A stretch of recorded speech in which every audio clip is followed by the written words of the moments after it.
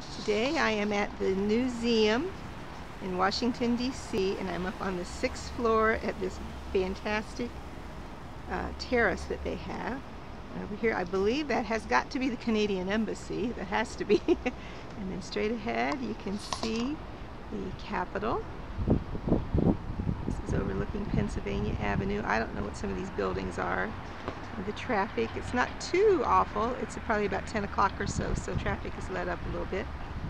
Over here, some beautiful buildings. Don't know what they are. Today is uh, March uh, 26, 27, something like that. So it's springtime here. Everything's very beautiful and green. A building over there, I will have to find out later what that is. Oh no, here's a triangle down here. Straight had some beautiful trees with um, their blooms. Off in the distance, you can see the that is the Smithsonian Castle, and over there is the Washington Monument. Going on down here a little ways.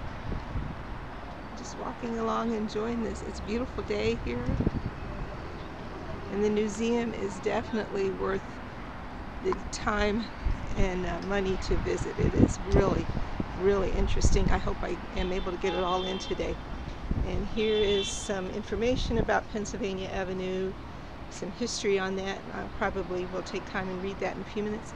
Straight ahead, you can see the spire of a church, and I believe that is a little bit of, uh, I'm not sure what that is out there in the distance, but uh, beautiful day here on Pennsylvania Avenue.